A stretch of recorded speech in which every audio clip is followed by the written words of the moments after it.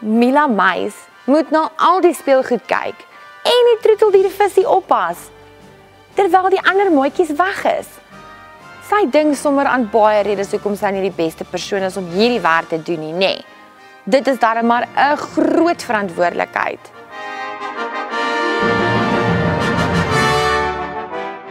'n Naweek by die see? Joi, ek kan nie wag nie. Ek wil die sand tussen my tone voel en ek wil voel hoe die wind deur my hare waai.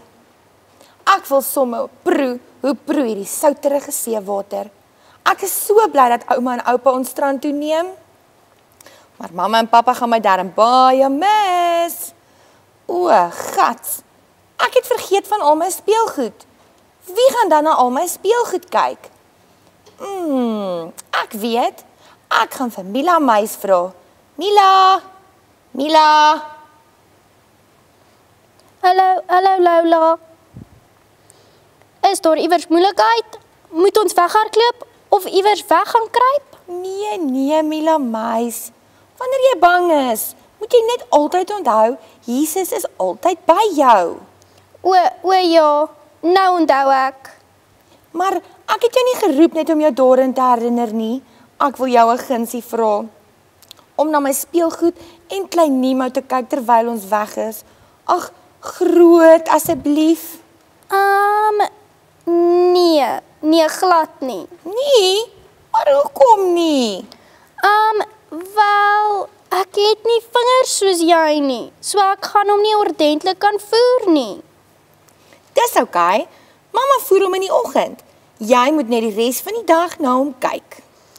Wel, um hoekom vra jy nie eerder vir Dixie of daarna om te kom nie? Hulle is baie beter daarmee om belangrike dinge te doen. Nee, hulle is nou op die plaas, Mila Mais. In elk geval ken niemand anders klein Nemo so goed soos jy nie.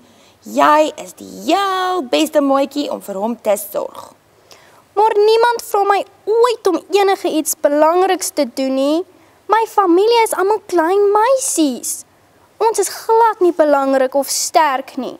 My mamma en pappa is klein en van al my boeties en sissies wat ook baie klein is, is ek die heel kleinste. Vra asseblief vir iemand anders om dit te doen. Ek wil nou sommer net weghardloop en wegkruip. Wag net so bietjie Mila Mais. Ja, hy klink nou net soos Gideon. Gideon van die Bybel?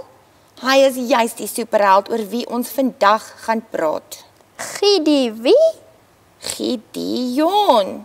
Ons lees van hom in die boek van Rigters in die Ou Testament. God het hom geroep om sy mense te help, die Israeliete. Maar hy was ook te bang en het 'n klaam verskonings gemaak waarom God eerder iemand anders moet vra. Maar uiteindelik was hy nie te klein of te bang nie. Nee, maatjies. Nee, glad nie. Hy was wonderlik. God het hom gehelp. Mila Meis Jy is ook glad nie te klein om God se helpertjie te wees nie. Hy kan jou help om wonderlike en belangrike dinge te doen. Miskien sal jy agterkom as jy na Gideon se storie luister. Mooietjies, vandag se held is Gideon. Ons lees van hom in Rigters 6 vers 12 tot 16. God het vir Gideon gevra om hom te help om iets baie belangrik te doen. Maar Gideon het nie soos 'n held gelyk of gevoel nie. Hy wou help dat baie mense na God luister en 'n groot verskil maak.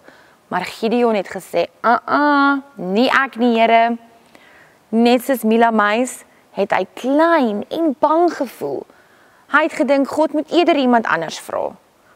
Het jy al ooit te bang en te klein gevoel om iets te doen? Ja, ek het al.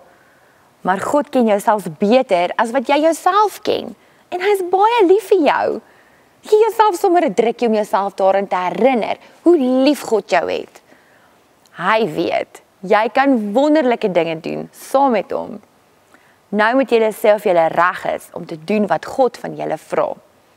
Om klein en jonk te wees beteken nie dat jy minder van 'n held is vir God nie. God kan jou ook gebruik.